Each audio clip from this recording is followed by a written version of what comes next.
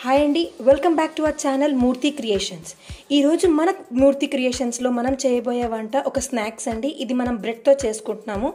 ఇది దహి బ్రెడ్ అన అనొచ్చు లేదా బ్రెడ్ పకోరా అని కూడా అనొచ్చు.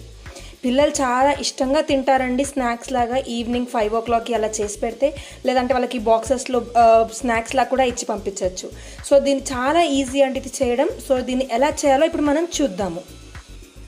ముందుగా ఒక కప్పులో పెరుగులో మనం బొంబాయి రవ్వ వేసుకొని ఇలా కలుపుకొని ఒక టెన్ మినిట్స్ నానబెట్టుకోవాలన్నమాట టెన్ మినిట్స్ నానబెట్టుకున్న తర్వాత ఇందులో మనము ఉల్లిపాయలు ఇలా చిన్నగా తరుక్కున్న ఉల్లిపాయ ముక్కలు తురుముకున్న క్యారెట్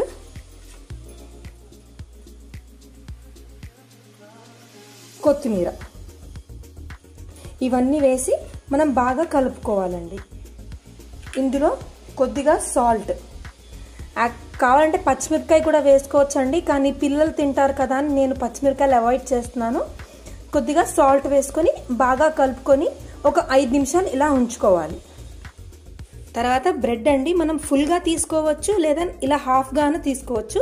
నేను ఇలా ఈజీగా ఉంటుంది వాళ్ళకి తినడానికి అని చెప్పి ఇలా స్లైసెస్ లాగా కట్ చేశాను అనమాట ఇప్పుడు మనము మనం తయారు చేసుకున్న ఆ పిండిని దీని మీద మనం అప్లై చేసుకోవాలి. ఎలా చేసుకోవాలో ఇప్పుడు చూపిస్తాను.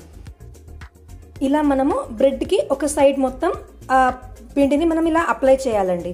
అప్లై చేసి ఒక టూ మినిట్స్ నాన్ ఇలానే ఉంచుకోవాలి. అప్పుడు ఆ బ్రెడ్ దాన్ని పీలుస్తుంది అనమాట సో దట్ మనకు కాల్చుకోవడానికి వీలుగా ఉంటుంది. ఇప్పుడు మనము ప్యాన్ పెట్టుకొని